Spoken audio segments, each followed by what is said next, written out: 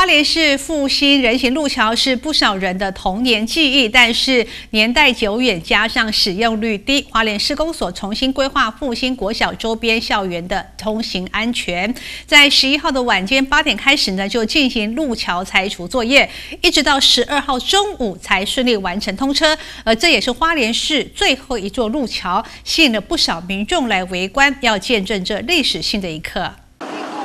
好，你赶快过。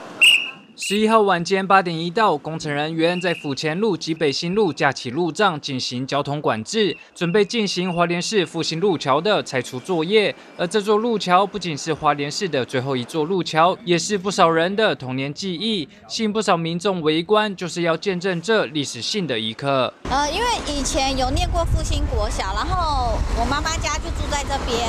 所以我们念书的时候都会走这个天桥，因为它以前天桥是有延伸到。到复兴国小里面的，然后呃，我们小孩几个兄弟姐妹也会在这个天桥上面玩，小时候，所以看到这个天桥拆了，会不会对他？对啊，所以我们来看看我们的回忆。复兴路桥新建年代久远，加上近年来的使用率低，存在着治安隐忧，因此花莲市公所配合步道整建工程，从十一号晚间八点开始进行拆除作业。而市长魏家燕及花莲市民代表会主席李政伟、副主席黄达祥也特别到场作证，关切工程的施作进度。呃，这边有计划性的一些我们人行道的一些改善后，那其实路桥这个部分其实已经非常久了，那也不堪使用，那也也。有可能成为治安的死角吼，那所以造成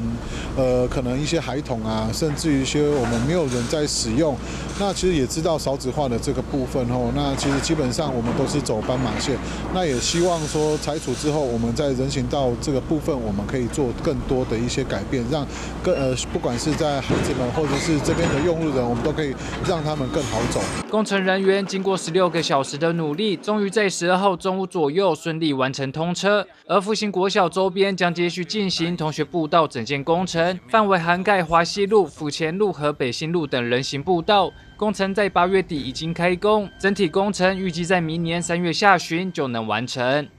记者徐立晴，华联市报道。